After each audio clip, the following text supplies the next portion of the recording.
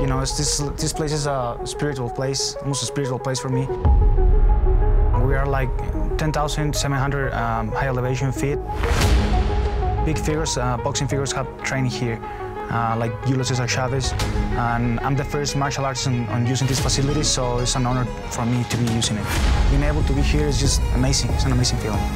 Just, just the fact that I'm fighting in Mexico is just by itself an honor. Just an honor for me to fight in front of my people. The Mexican fans, they love fighting. They're so passionate, and uh, they they know the style that I bring. They know that I bring a real fight, and that's what they love. People love my, my fighting style just because I, I fight with my heart. I fight with passion. When I walk to the octagon, it's just on. I love it. I love to go for the kill. I finish people in raw, vicious style. Too hot for TV type. Oh! Emmett goes down! Oh! Emmett's out! Jeremy Stephens shut the lights out.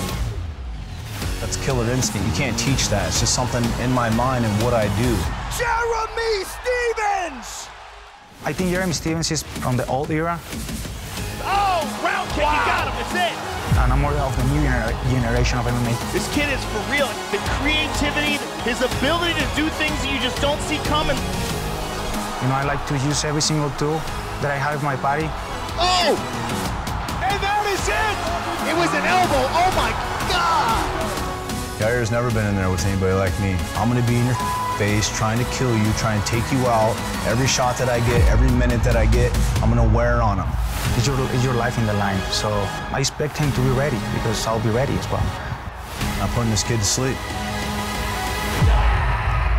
Preciosos sueños, Yair.